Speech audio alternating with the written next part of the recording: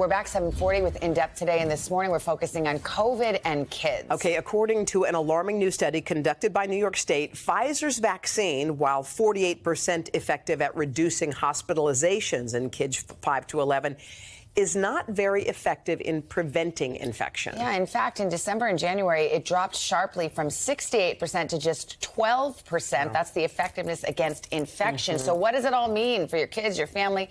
Dr. Richard Besser is a pediatrician, the former acting director of the CDC, and the president of the Robert Wood Johnson Foundation. Dr. Besser, we mm-hmm. need to talk about this because. Mm-hmm it's a good news, bad news story. Mm-hmm. On the one hand, it's keeping kids out of the hospital at mm-hmm. about 50% rate, but it's not preventing right. infection. So, what are we supposed to make of this?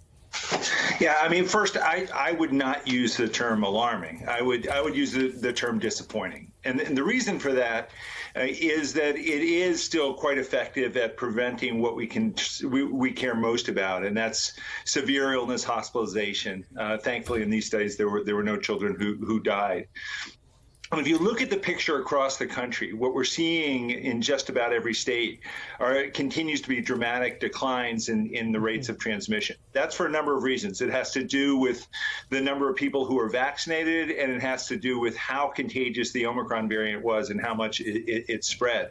So, you know, as a pediatrician, as I talk to parents, you know, I, what I want to gauge is what is their comfort level with with risk um, how uh, uh, concerning is it if their child were to get this? Meaning, does their child have medical conditions that put them at, at increased risk? And what's going on in, in, in their particular community?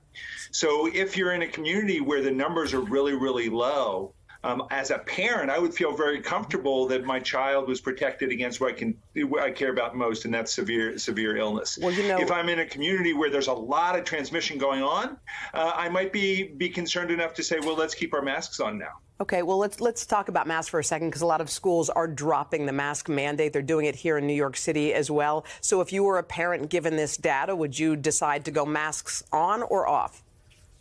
You know, I, I I would look and see what's going on in, in my community. The the new guidance from the CDC, I think, is right on target in terms of saying what's happening in my community. Are the hospitals being being stressed?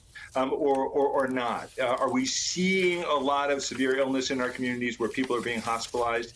Uh, is there pressure? What's happening in, in terms of severe illness and what's happening in terms of cases? If I'm in a community where that's all looking good and it's looking low, and my child is not at high risk, I would feel comfortable taking that mask off. And the, the reason for that is that, that masks have a cost to them as well. The children not being able to be children, being continually stressed, put the mask back on, keep away from, mm-hmm. from your friends. Don't do those things that children need to do for normal development. Those things have a cost to them. And the cost is worth it when, when you're in the midst of a, of a pandemic with rapid transmission.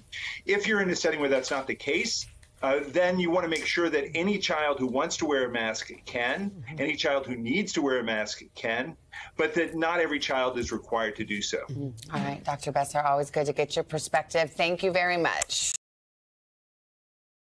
Hey, thanks for watching our YouTube channel. Find your favorite recipes, celebrity interviews, uplifting stories, shop our favorite deals, and so much more with the Today app. Download it now.